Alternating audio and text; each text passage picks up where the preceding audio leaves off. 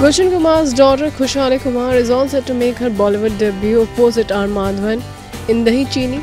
She plays a lawyer in the film and has already started doing her homework to get into the skin of the character.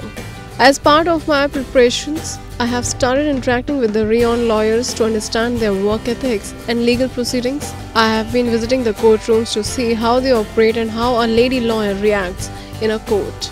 In fact, I met someone power-packed lady lawyers. It was a great honor to stand with them and get clicked, though I plan to spend more time across various courts to understand their mannerisms and conduct in the courtroom. I'm sure it will help me prepare for my stint as a lady lawyer in Dahi Cheeni, said Khushali. She describes her debut flick as a slice of life comedy, adding, The film shines light upon the problems that societies across the world face today. It is based on a true story and is so far removed from the pomp and show of Bollywood that it feels like a breath of fresh air.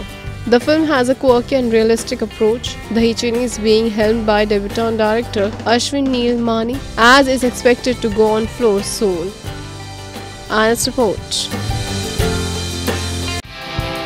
Subscribe to our channel. Just click on the bell icon for all the latest updates.